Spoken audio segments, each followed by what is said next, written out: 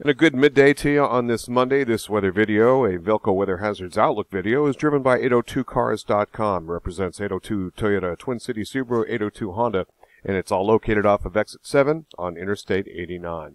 Looking at the big picture, one thing to note is this time of year, as we get darker, uh, shorter, shorter days, notice the darkness up here in about central Hudson Bay and then points north. And that's part of the uh, Arctic winter on the way Okay, quickly, here's the setup. You can see this uh, kink in the uh, 500 hectopascal flow. This is a negative tilt trough, uh, kind of being kicked out of this uh, mean, with this mean trough uh, extending from uh, really Hudson Bay into the Ohio Valley.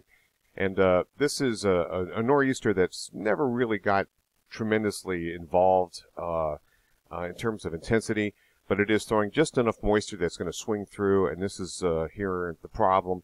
We're looking at generally light precipitation amounts and using uh, looking at the uh, surface uh, area of low pressure, this is not very deep, but deep enough to uh, give us this flow coming in off the ocean and spreading clouds north, and also ahead of this trough, same kind of thing. So, marginal temperatures making it a little bit of a tricky situation for travel. And again, uh, this is going to be a situation for uh, utilities to watch, but it does not look like we're going to meet thresholds to to worry about too many things going on for utilities at this point in time. Let's take a look at the uh, computer modeling and what's going to happen after this storm moves on out.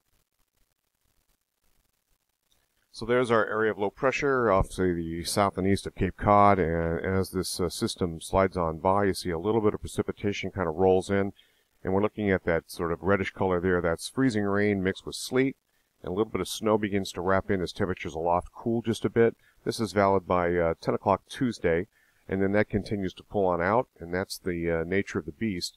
And we get into a little bit of snow flurry activity on Wednesday. You can see that kind of slide through parts of Vermont there, and then uh, that dries out as an area of higher pressure builds in from uh, the lower Great Lakes, heads for the middle Atlantic coast, but enough of a ridge of higher pressure uh, that uh, juts northward, and that's going to bring us some pretty fine weather as it looks right now for Thursday. That looks like the uh, best dry project weather as well as a good solar day. Now that area of higher pressure then pushes on out. Here comes uh, Friday's weather system, which is going to pack a little bit of wind on its backside. So you see it's a little bit of rain shower mixed with uh, some maybe some wet snow showers. Doesn't look like we're going to see uh, the uh, freezing rain aspect or sleet, but uh, some wet snow follows it. And right here the pressure gradient is a little bit on the tighter side. And we're looking at gusts anywhere from 35 to locally 50 miles an hour. This from a westerly wind uh, as that area of low pressure begins to slide out of the region and uh, those that pressure gradient works into the uh, period of Friday night before another area of higher pressure builds in. Just enough of a ridge that we're going to see basically conditions, uh, partly sunny skies with good dry project weather as it looks right now on uh, on Saturday. And here comes the next weather system. This uh, looks like it may have a little bit of uh, mixed precipitation types to it as it's going to slide through. This is going to take place along about Sunday, and then that moves on out, and we're looking at another area of higher pressure. So uh, weather systems are starting to come in a little bit more frequent now, and uh, as we get toward next weekend, we'll see uh, one just about every other uh, every two days or so. Here's the HRF model, and this is just a point to watching the uh, precipitation shields advance mostly to our east. Uh, this is, let's see, that would be 2 o'clock. That'd be about 9 o'clock in the evening. That's 10, 11, midnight. You got 1 o'clock there, uh, two, three, four, five, six, and finally seven o'clock tomorrow morning. Looks like we're mixing with a lot of various types of precip. I would not count on eastern Vermont being all rain. I think it's really going to be more of a freezing rain sleet scenario. So I'm not buying this uh, computer model, but at the same time, it does give you some of the timing as how that all transitions. Okay, let's look at the uh, three-hour QPF of the GFS ensemble uh, mixed with the Canadian. You can see uh, that the main weather uh, issues here are going to be taking place with this uh, up and coming, and then a little bit of uh, flurry activity, and then down the road drier weather Thursday, and this is Friday's weather system, and so forth. looking at the total amount of QPF, we're not looking at very much here. Uh, this is going to be under four tenths of an inch for this total amount for this first system, and then you're looking at probably another three tenths of an inch. So both of these systems down the road appear to be not really a big deal. But precipitation types will definitely be uh, a deal here. So we're looking at rain with mixed precip with the purple, a little bit of snow flurries, and then same kind of thing, maybe a little bit more in the way of the rain department with temperatures above normal at that point in time on Friday. Now uh, let's take a look at the two meter temperatures. You can see Friday uh, goes above normal here. And uh, comparing these temperatures with the uh, max mins there you're seeing uh, centered on Montpelier, you can also look at the 850 hectopascal temperatures. We go above freezing. This is about 4,000 feet or so. So you're looking at above freezing temperatures. Hence, that's why we're looking at mixed precip. And then a next uh, area of mixed precipitation, then those temperatures generally fall.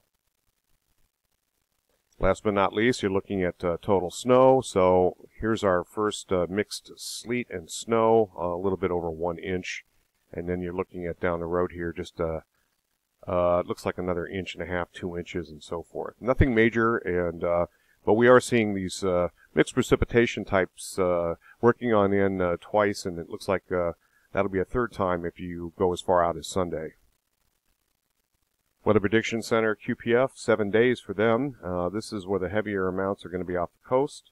And you can see we're only down to a quarter of an inch here, about a half inch here, one inch uh, as you get into eastern parts of New England, uh, closer to the coastline. Weighted temperatures over the next five days, the meteorological output statistics show at near neutral temperatures, uh, uh, chances for above or, or below.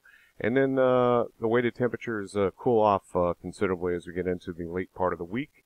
We get into a little bit of this uh, minus three degrees, uh, so not too far from normal really at this point.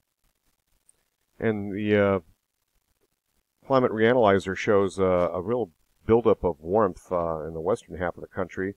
This is the cold that had made it east and is now modifying considerably. This is the warmth that was ahead of it and uh, you can see quite a difference. Notice the Arctic is back into uh, well above normal temperatures. Cold spots now are in the uh, areas around Siberia on the backside of the planet.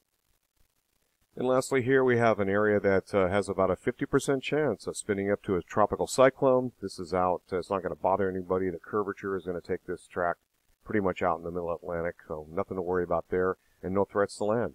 Roger Hill, Weathering Heights, thanks for watching.